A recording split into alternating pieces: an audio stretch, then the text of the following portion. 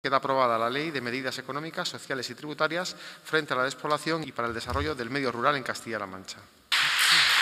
Hoy es un día bonito para el mundo rural en Castilla-La Mancha.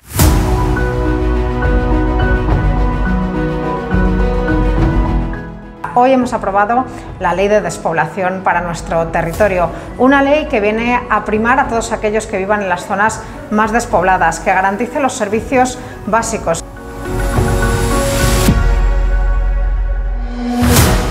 Que ayude al emprendimiento, a las empresas, que permita a todo aquel que quiere vivir en nuestro medio rural a tener las mismas oportunidades que en una ciudad.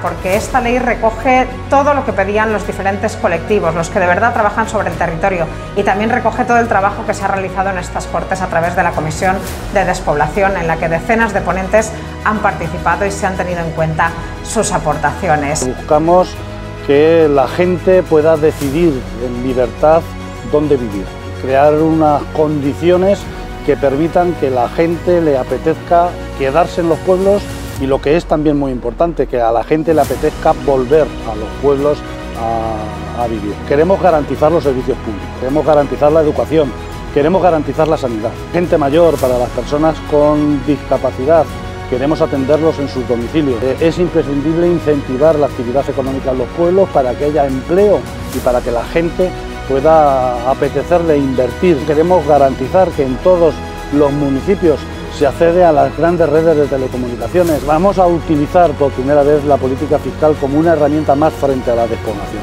Por eso hemos aprobado desgrabaciones fiscales muy importantes para las personas que viven efectivamente en los pueblos, que tienen la estancia efectiva en sus eh, municipios.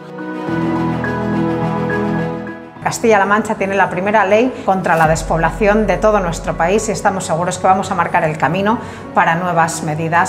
creo que va a ser un antes y un después en las políticas frente a la despoblación, en Castilla-La Mancha por supuesto, pero también en España.